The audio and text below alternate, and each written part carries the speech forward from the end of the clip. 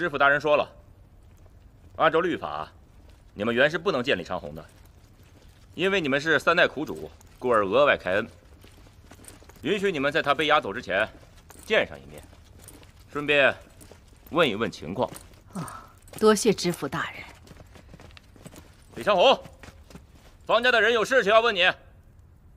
李长虹，大人，大人，不好了，苏玉萍被暗杀了。把门打开，快！开门。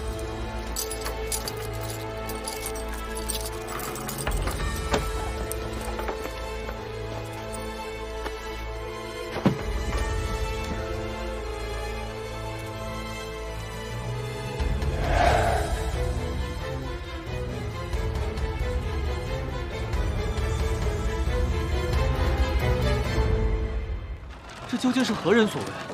眼看一切就要水落石出了。李长虹二十岁便中了进士，先后出任鲁廷主簿、台州参军、庆阳知县、安阳知县、魏辉节派，再到现在的泽州知县。他历任过的每一个地方都围绕着泽州附近。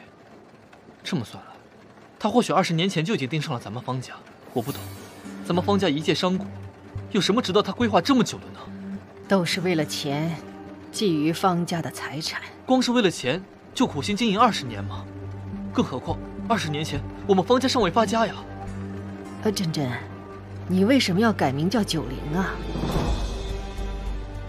哦，我想起来了，九灵是先皇留下的公主名讳，陆武得时的亡妻。我说这名字怎么这么耳熟呢？珍珍跟九灵公主相识，想来是为了纪念故人。珍珍跟九灵公主啊，都是父母双亡。九灵公主成婚却不受，珍珍定亲却被拒呀。这不一样的祖母。真真虽没有公主的名讳，但我觉得她比公主过得好多了。她至少还活着呢。祖母，我想一会儿你们先回去，我还有件事要出去一趟。这都快到家门口了，吃了接风宴再去嘛。接风宴前我定赶回来。啊。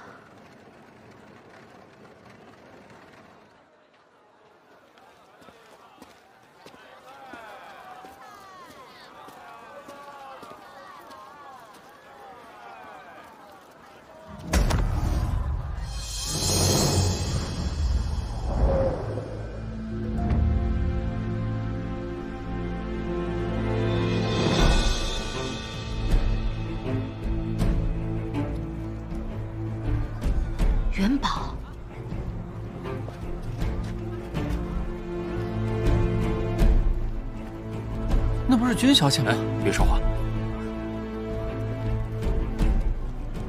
咱们干嘛呀？在这待着别动。祖母，程宇已经平安回来了，姐姐也丝毫不知情，与苏姨娘所做之事无关。您这样一直拘着她，按照她的性子。怕是撑不下去的，还请祖母、母亲，看在她也是方家子嗣的份上，开开恩吧。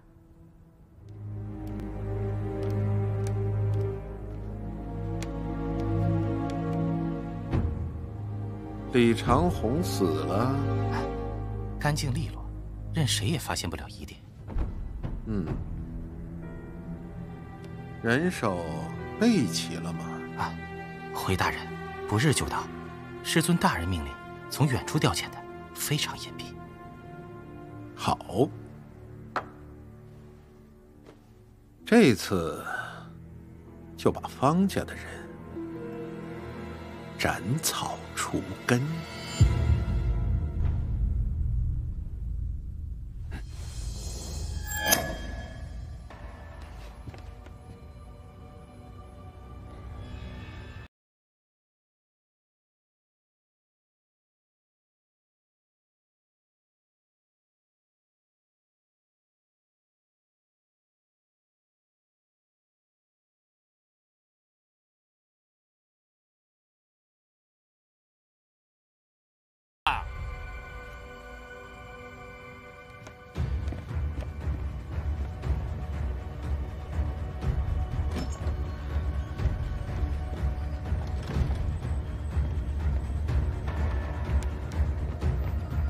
抱歉，啊，热水送完了。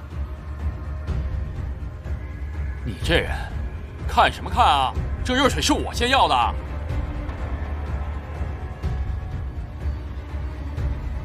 还有热水吗？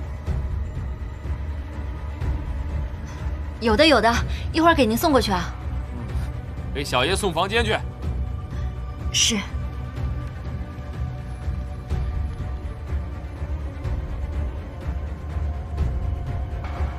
祖母，我之所以误了回城的时间，是因为昨日我在街上见到了一个本不该看到的人。什么人？一个太监。太监？是。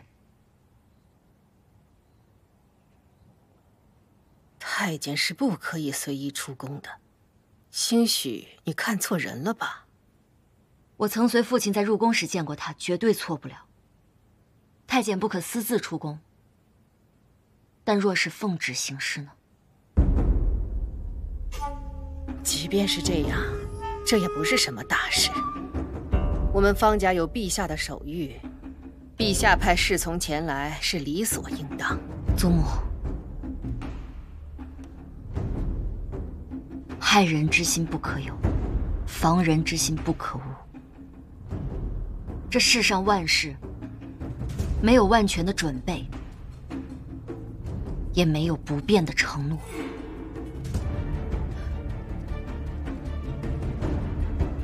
这也是生而为人的乐趣。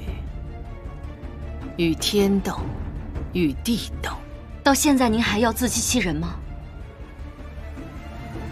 您明知道，陛下派他来，不仅仅是看着方家。而是要对方家斩草除根。我亲耳听到太监说，陛下打算对方家下手。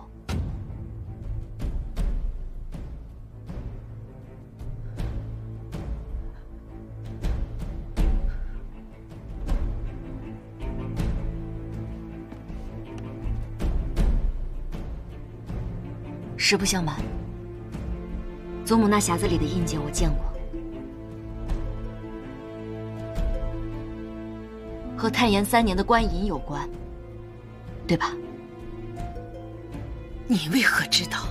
如果我没有猜错的话，当年那批官银根本没有交于北齐的手上。当年楚让还是藩王，泽州乃他的封地，那批官银今由此处送往北地，可在途中却被楚让做了手脚。楚让将那批官银送到了方家。作为方家的发家之资，而后方家为楚让招兵买马，替他赚取银两。但是他被北齐掳走的父亲和兄弟，他根本不顾死活，只是挡在他面前的人越少越好罢了。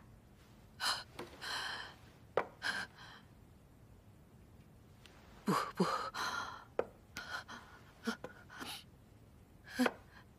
当年，我们方家一时糊涂，犯下了大错，我们也得到了应有的惩罚呀。程宇他爹、他祖父都为这事儿死去了，为什么？为什么还不放过我们？为什么？祖母，您就没有想过？这么多年陷害方家之人会是他吗？我怀疑过，但我没有证据。楚让知道我们方家留有手谕，他不会害我们的，他不会害我们方家，他不会，不会，不会害我们方家呀！他不会。